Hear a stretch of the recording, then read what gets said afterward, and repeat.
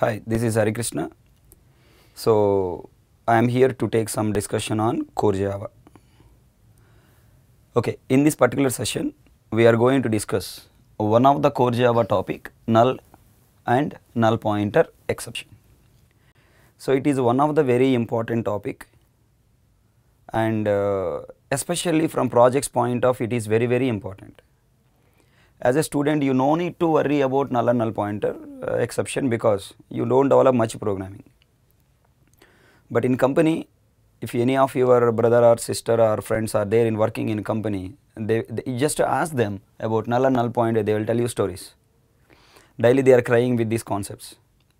So, definitely in the project's execution point of view you are going to see I mean uh, the developers go, going to see null pointer exception especially supporting team uh, issues fixing team they are going to see these exceptions more.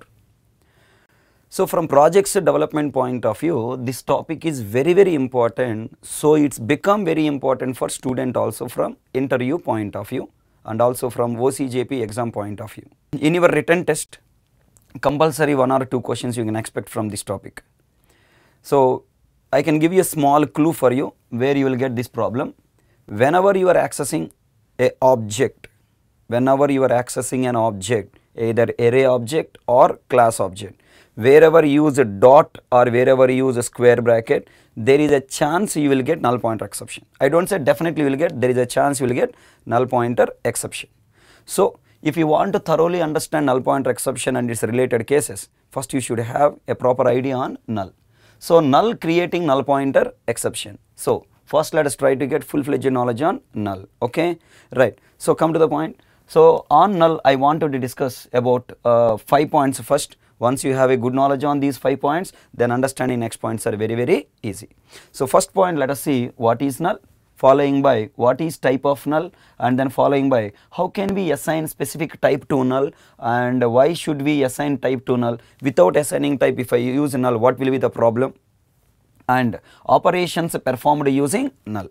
Yes, now try to observe in this session I am not only teaching you uh, what about uh, null, I am going to concentrate on null related interview questions coming in written test, coming in technical round, coming in project manager round and also you are going to face the problems with null in projects. So, in all levels if you want to get good knowledge, you should have a good knowledge on these 5 points, okay. So, let us start working on these points, are you ready?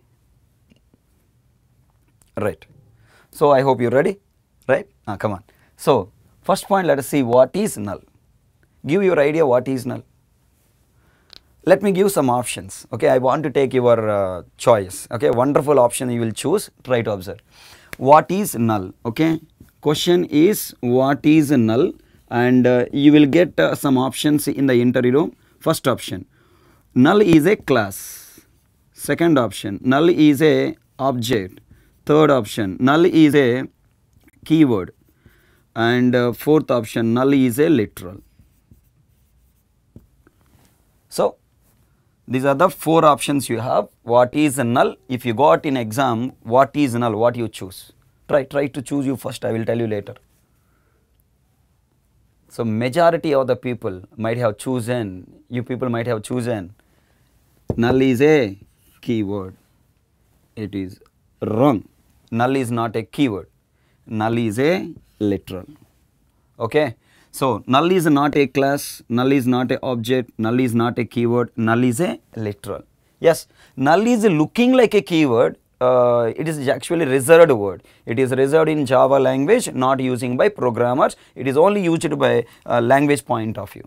So, what is a null? Null cannot comes under keyword category, null is comes under literal category. So, can you please try to answer what is null? Null is a literal. So, now let us try to go through some uh, small small topic about literal you know already. So, now tell me here I am writing something called 10 and I am writing something called 10.0. I am writing something called single quote A and I am writing double quotes HK and uh, I am writing of course your favorite uh, true and also I am writing current topic null.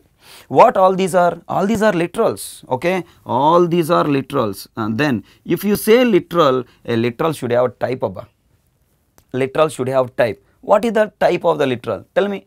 10 is a literal nothing but a value null is a literal nothing but a value of what type uh, 10 is of type int 10.0 is of type float no it's not a float that is maths in java it is a double so 10 is of type int 10.0 is of type double single quote a char double quotes hk is java.lang.string and true is a boolean. Then come to our current topic. What is a null? Null is a literal. Then now tell me what is the type of the null? Null type is any referenced type. Null type is any referenced type any referenced type huh tell me what the meaning of any referenced type? In Java data types topic you might have seen there are two types of data types primitive data types and reference types. There are totally five reference types are there. Number one array, number two class. And number three interface, number four enum. And number five annotation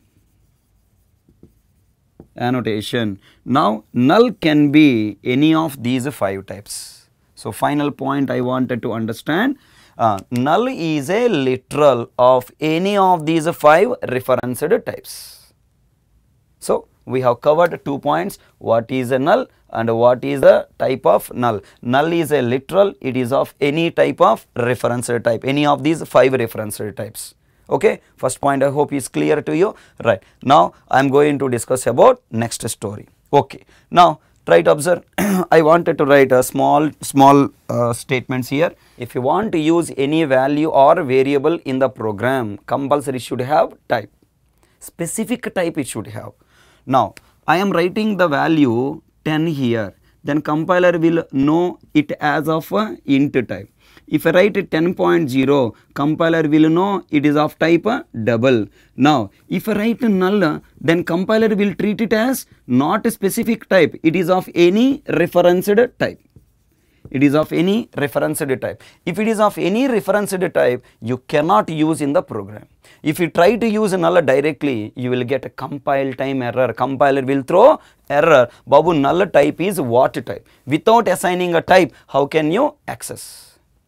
So, now for example, simple program let me write. If you write system dot out dot println 10, no problem, you will get value 10 as a output on the console. Compiler will not throw error, JVM will not throw error, we will get output 10. If I write system dot out dot println 10.0, now you will get output 10.0 as output. No compile time error, no runtime error. So, like this, if you write system dot out dot println double quotes HK also, no compile time error, no runtime error, you will get output as HK because double quote HK is of what type? Uh, Java.lang type, specific type is that.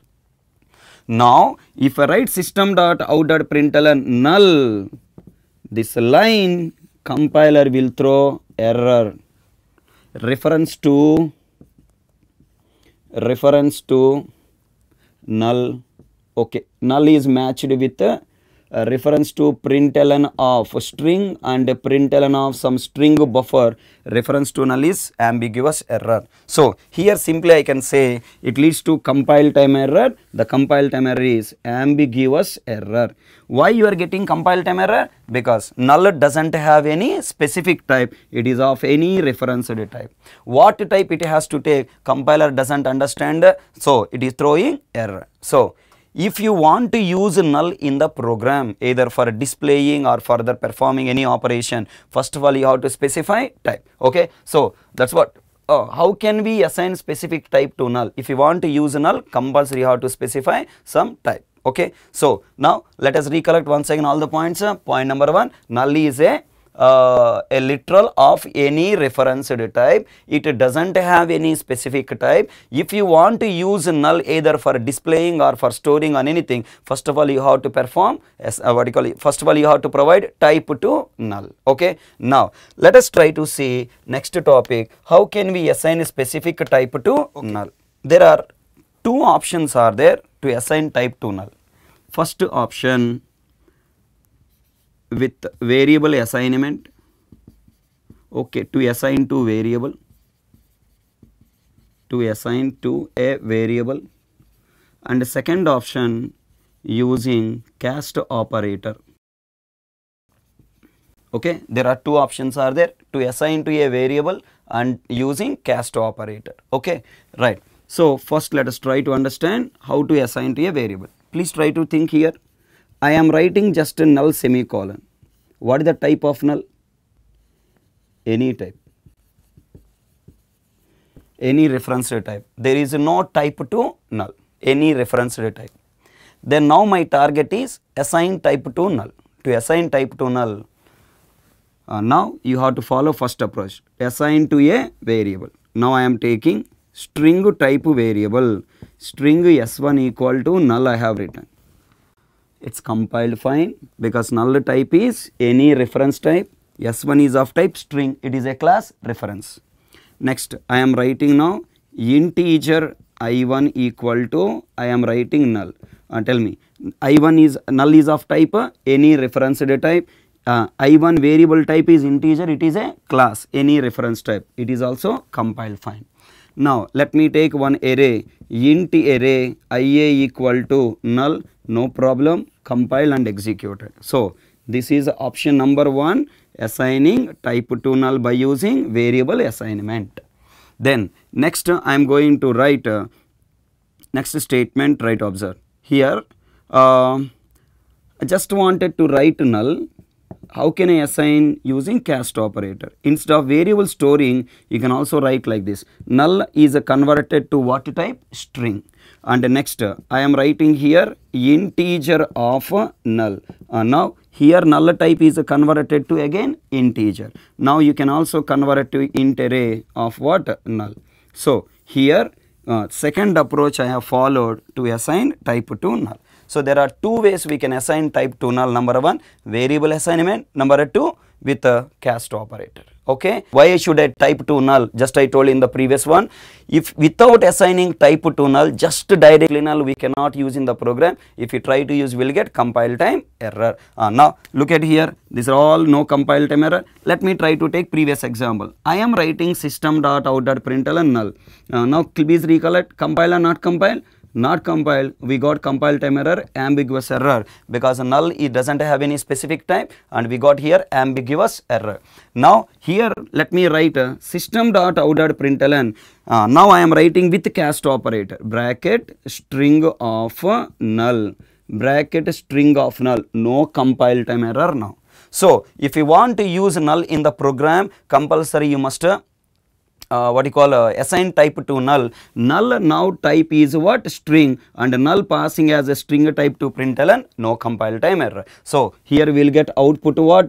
Null SOPLN will display output null. No confusion to compiler, no confusion to JVM. Okay, can you tell me I want to display null as of integer type. What you write? Very simple. System dot out dot println in the bracket you write integer and then you write next what? Null. No compile time error and we will get output what? Null. Same way you can also convert its type to what? Int array int square bracket of course you can assign null no compile time error and we will get output null. So, this is the point we have to understand. This is compulsory coming one of the important written test question. If you pass null as an argument directly, it leads to compile time error. If you want to display null, compulsory must pass via cast operator or via variable. What the meaning of via variable? You write uh, already written a string s1 equal to null. You write here s1 and then sopln what you write uh, i1 SOPLN you write IA. So now no compile time error in these three lines and we will get output null and you will get output null and here also you will get output null. No compile time error, no runtime error. So finally I wanted to recollect three points. Point number one, what is null? A null is a referenced data type literal. It doesn't have any specific type, it is of any type and without assigning type to null you cannot use directly. If you try to use there is a chance we will get compile time error. And uh, some cases you don't get compile time error. Some cases will get. What is the case? What is the not case? We are going to discuss that point also. Okay? So better you try to use null with type so that always you don't get compile time error. In exam if you see null directly there is a chance you will get a compile time error, ambiguous error that point you have to remember. And then next how can we assign a specific type to null to avoid this compile time error? For that you must use two options assign uh, assign a null to a variable. Now string s1 i1 ia1 and next use a cast operator. And then use a before null you write whatever the type you want to convert it will work. Okay? Then here i wanted to prove one point. What is that? Very simple I am telling null is of any reference type, it does not have any specific type. For the small proof point I wanted to show here, you run this statement in your in your system, definitely compiler will throw wonderful error. int i1 equal to null you write. And also you write something uh, int int i2 equal to double quotes hk you write. Then you see what is the compile time errors you will get here and here this is also compile time error, it is also compile time error. What is the compile time error you will get? Try to test in your system and give your comment. Okay, it is assignment to you from this discussion. So, in the next session we are going to discuss operations performed by using null. While performing null, using null, we will get null pointer exception and how to solve the null pointer exception we will see in next session. Thank you.